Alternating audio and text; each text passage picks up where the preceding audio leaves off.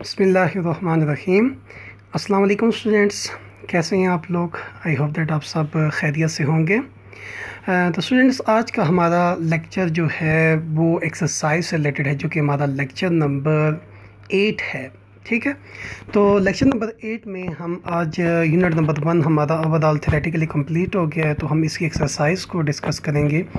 लेकिन स्टूडेंट्स उससे पहले कुछ बातें मैं आपसे शेयर करना चाह रहा हूँ। ये हैं कि इसमें कुछ नोट्स वगैरह आएँगे, वो मैं आपको समझाऊँगा तो इस वीडियो के ज़रिए आपने उनको रिमेंबर करना है, और आपने उनको बुलाना नहीं है कि आपने इसको किस तरह परफॉर्म करना है, ठीक है? तो सबसे पहले तो हमारे एक्सरसाइज में जो एम सी क्यूज़ लिखा हुआ है कि encircle the correct answer from the given choices तो आपने करेक्ट आंसर देने हैं। इसकी पहले भी आप काफ़ी प्रैक्टिस कर चुके हैं। तो फर्दर आपने इस एक्सरसाइज में भी करनी है। कुछ जो टफ़ है वो मैं आपको साथ साथ उनके आंसर बता देता हूँ। So the number of base unit in S I are इसमें कितने बेस यूनिट्स हैं ये सॉरी एस आई यूनिट जो बेस हैं वो कितने हैं, ठीक है? यानी बेस यूनिट्स की तादाद कितनी है तो ये आप ऑलरेडी एक्सपीरियंस कर चुके हैं। वन है थ्री है टू है सेवन है तो ये आपने ख़ुद बताना है। Which one of the following unit is not a drive unit इनमें से कौन सा यूनिट ड्राइव यूनिट नहीं है? ये भी आप ऑलरेडी एक्सपीरियंस कर चुके हैं। पास्कल ड्राइव यूनिट नहीं है न्यूटन नहीं है कौन सा ड्राइव यूनिट नहीं है? आपने बताना इनमें से, ठीक है? So amount of substance in terms of number is measured in तो ये भी आप ऑलरेडी टेबल से चेक कर चुके हैं कि अमाउंट ऑफ़ सस्टांस जब इन टर्म्स ऑफ़ नंबर आप चेक करते हैं तो ग्राम में होता है न्यूटन में होता है किलोग्राम में होता है या मोल में होता है। तो ये भी आप प्रीवियसली डिस्कस कर चुके हैं, आपने खुद इसको, जो है ना फाइंड आउट करना है। और इसका आंसर आपने ख़ुद लगाना है, ठीक है? जब आप एक बात जो बहुत ज़्यादा स्टूडेंट्स मुझसे पूछते हैं, वो ये कि स्टूडेंट्स ये पूछते हैं कि, सर, मैंने ये काम सारा नोटबुक पे करना है या नहीं करना? तो मैं ऑलरेडी आपको बता चुका हूँ कि जो प्री नाइन्थ के स्टूडेंट्स हैं, वो पहले दो चैप्टर कम्प्लीटली लिखेंगे नोट्स के एवरीथिंग ओके और इसके अलावा मैंने आपको बताया था कि 200 ब्लैंक्स आपने बनाने हैं। तो 200 ब्लैंक्स आपने सेपरेट कॉपीज़ पे बनाने हैं। और इसके अलावा एवरीथिंग फ्रॉम द नोट्स आपने अपनी नीट बुक पे लिखना है। इवन दो वो आपके एम हैं एक्सरसाइज वाले हैं या इनिशियल एक्सरसाइज और पहले वाले जो हैं, वो आपने ओवरऑल लिखने हैं। ठीक है स्टूडेंट्स तो नंबर फोर है कि an interval of 200 micro second is equivalent to 0.2 second इससे पहले स्टूडेंट्स आपको पता होना चाहिए कि माइक्रो किसके इक्वल होता है। हमने प्रीवियसली प्रीफिक्सेस को पढ़ा। माइक्रो जो है, ये जो आपको सैंपल नज़र आ रहा है यू की शेप का इसको माइक्रो कहते हैं। तो माइक्रो जो है स्टूडेंट्स वो किसकी इक्वल होता है? टेन पावर माइनस सिक्स के। प्रीफिक्सेस के टेबल से हमें पता चला।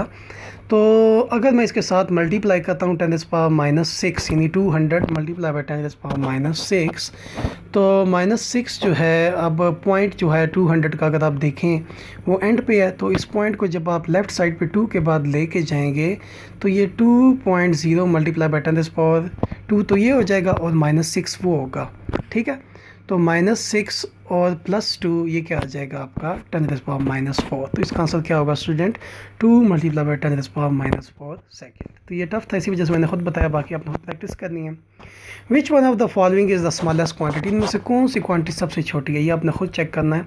Zero point zero one gram सबसे छोटी है हंड्रेड माइक्रोग्राम ये अपने प्रीफिक्सेस को देखते हुए चेक करना है कि कौन सी सबसे छोटी क्वान्टिटी है, ठीक है स्टूडेंट उसके बाद है कि which instrument is most suitable to measure the internal diameter of a test tube internal diameter test tube find करने के लिए सबसे जो सुटेबल uh, इंस्ट्रूमेंट है वो कौन सा है? क्या वो मीटर रूल है? या वो वनियर कैलिपर्स है? मेजरिंग टेप है? या स्क्रू गेज है? तो आपने इसको खुद चेक करना है। मैं लास्ट टाइम बता चुका हूँ कि अगर हम मालूम करते हैं इंटरनल डायमीटर तो ये आप वनियर कैलिपर्स के टॉपिक में अगर आप इसको सर्च करेंगे तो पता चल जाएगा। A student claimed the diameter of a wire as 1.032 centimetre using vernier calipers एक स्टूडेंट है जो ये क्लेम कर रहा है कि मैंने डायमीटर मालूम किया किसी भी वायर का और वो कितना है? 1.032 सेंटीमीटर और वो कह रहा है कि मैंने वर्नियर कैलिपर्स से किया है। तो up to what extent do you agree with it तो आप किस, कितने दर्जे तक उसके साथ एग्री करते हैं? वन सेंटीमीटर तक one point zero three centimetre तक वन पॉइंट ज़ीरो सेंटीमीटर तक या one point zero three two centimetre तक।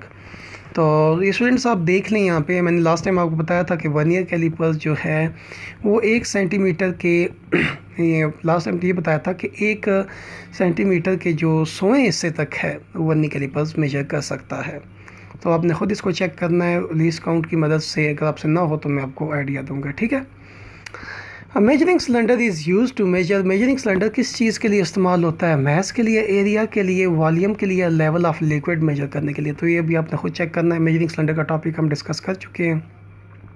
उसके बाद स्टूडेंट्स के student noted the thickness of a glass sheet using a screw gauge एक स्टूडेंट है, उसने एक गिलास शीट की थिकनेस को, यानी चौड़ाई को फाइंड किया और वो कह रहा है कि ऑन द मेन स्केल किसके ज़रिए वो कह रहा है कि मेन स्केल पे इट रीड्स थ्री डिवीज़न उसने कहा कि मेन स्केल के ऊपर वो जो रीडिंग नोट कर है वो थ्री डिवीज़न है while eight division on the circular scale coincide with the index line लेकिन जो आठवीं डिवीज़न है सर्कुलर स्केल की, वो इंडेक्स लाइन के साथ आ रही है एक लाइन में। जब आप सर्कुलर स्केल यूज़ करेंगे ना लैब में मैं आपको सिखाऊँगा इंशाल्लाह तो उसमें आपको आइडिया होगा कि किस तरह सर्कुलर स्केल जो है, उसकी लाइन किस तरह इंडेक्स लाइन के साथ कंसाइड करती है।